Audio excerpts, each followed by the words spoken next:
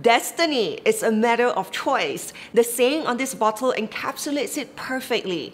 This is what I've always believed in. Whether or not we think we have a choice over how our life turns out directly impacts how happy or unhappy we are. The best way to motivate ourselves to always be in charge of our own destiny is to eliminate the thought, I should and replace it with I want to. This is because the emotion that comes with the word should is always one of hopelessness and resentment.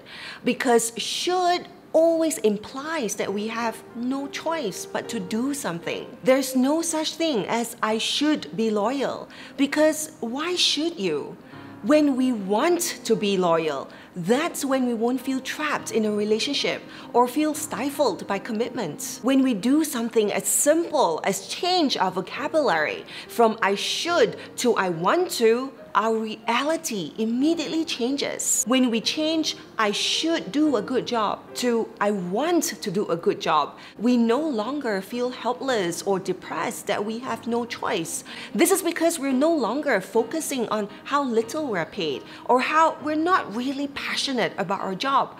We're simply focused on being the best we can be because that's what we want. When we want to try harder, that's us taking control of our life. When we think we should try harder, it's a downward spiral because we don't understand why, despite us working so much harder at our job and in our relationships, things just don't improve. It's because when we think we should do something, we keep putting in the actions that are correct, but our heart's not in it. This is why we can be making so many choices, all the while thinking that we have no choice.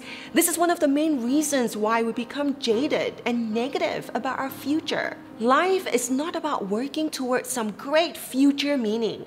Life is about finding the meaning in the moment. It is only when we can take ownership of our every moment that we'll never feel like we have no choice. Because that's when we make up our minds that we want to drive our own future. Destiny is a matter of choice. Make it a choice to be happy always.